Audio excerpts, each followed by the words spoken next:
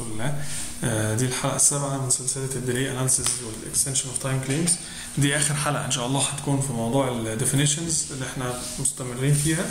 هنتكلم النهارده فيها على ال disruption ومصطلحين بساط جدا.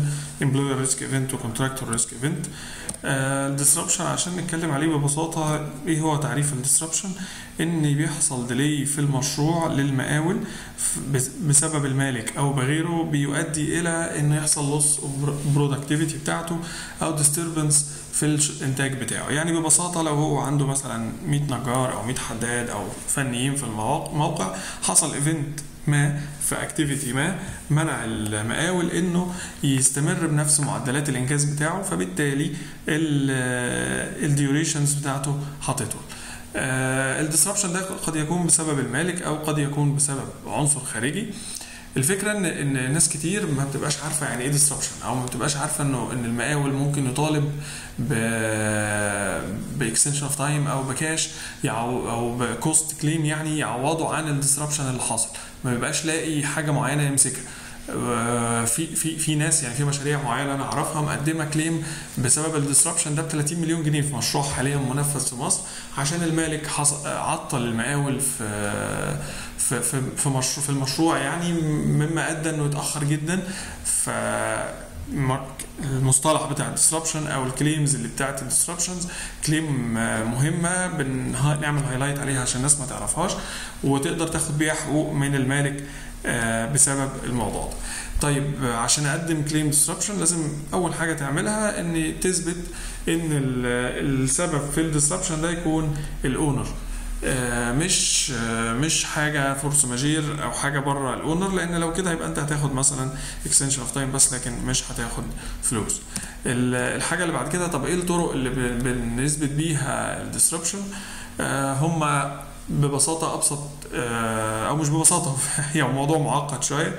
هم دول الثلاث طرق الأساسيين في حساب ال disruption ال project practice based أو industry based أو cost based methods الثلاث طرق دول أول طريقة بتنقسم إلى خمس طرق تانية اللي هي measured mile analysis و baseline productivity analysis و ال system dynamics و ال earned value و ال sampling و ال comparison إحنا بس هندي فكرة على أول طريقتين عشان الناس بس تبقى عارفة. أما تسمع المصطلح ده ما تندهش أو ما تستغربش.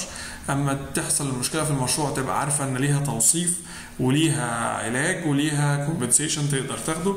ال measured mile بيتكلم على قياس فترة مماثلة أو activity مماثل في المشروع حصل قبل ال disruption و activity مماثل ليه حصل أثناء ال disruption وبيعمل comparison ما بينهم وبيطلع بال بال بال effect أو ال impact اللي حصل. الفكرة كلها إن أنت بتقول مثلا أنا عندي نشاط معين سقف ما بصبه أنا عملته في الظروف الطبيعية في شهر لكن لما حصل ال disruption عملته في 45 يوم فإذا أنا اتعورت في 15 يوم هو ده اللي أنا عايزه. دي ببساطة طريقة ال measured mile analysis وفيها تفاصيل أكتر يعني. أنا بس بدي hint عنها. طريقة ال baseline productivity analysis إن أنا بقارن ال productivity بتاعتي اللي حصلت في ال actual بال baseline بال activity مماثل قبل ال disruption بقارن ما بين الثلاثه دول وبطلع ب conclusion بقدمه للمالك. العبء عموما في في مسألة ال disruption بيبقى على المقاول إنه يقدر يثبت الكلام ده. القصة كلها ليها علاقة بال records اللي تبقى عندك. القصة كلها عادة في ال disruption claim بيبقى قدام محاكم أو تحكيم.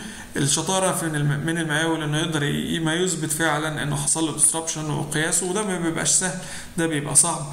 وال claims دي بتبقى يعني مش من الحاجات اللي بتعدي بسهولة.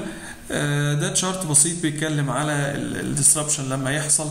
ممكن أبدأ أخش فيه إزاي؟ بيقول لك ان إن أنت أول حاجة بتشوفها بتجمع ال records بتاعتك وال impact بتاعك. الحاجة الثانية بتشوف إن المتسبب في الكلام ده هل هو ال owner ولا حد تاني مش force majeure أو حاجة زي كده. وبناء على الكلام ده بتختار الطريقة بتاعتك اللي تقدر تشتغل بيها. هي practice method ولا industry ولا contract based بناء على الشرط البسيط ده أنا مش هطول أكتر من كده في ال disruption الناس تقدر ترجع لل files الموجودة على مكتبة علم ينتفع بيه في ثلاثة أو أربعة articles بساط جدا بيتكلموا على ال disruption بالذات.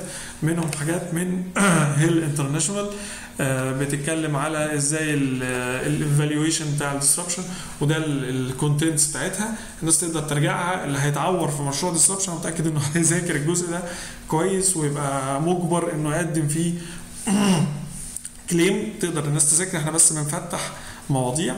الحاجة الأخيرة التعريف بتاع ال employer risk event أو ال contrast contractor risk event مصطلحين بساط جدا بيتكلموا على إن لما بيحصل event المتسبب فيه اللي بيبقى ال employer بيبقى اسمه employer risk event أو ال contractor بيبقى اسمه contractor risk event لأن المصطلحين دول موجودين بكثرة في ال SCL delay protocol فأنت لو مش عارفهم وأنت بتقرأ أو أنت بتذاكر هتلاقي نفسك مش عارف إيه تفهم ال- المصطلحين دول. وبيتم استخدامهم طبعا في ال claims الحاجة الأخيرة المرة الجاية إن شاء الله نبدأ نخش بقى deeper في ال delay analysis methods هنتكلم على ال retrospective وال prospective هنتكلم على ال strengths وال weakness بتاعت كل طريقة وندي examples فيهم إن شاء الله. آه، لحد كده هنا المحاضرة خلصت. المرة الجاية إن شاء الله ننزل بقى ال delay analysis methods وأقول قولي هذا وأستغفر الله لي ولكم. والسلام عليكم ورحمة الله وبركاته.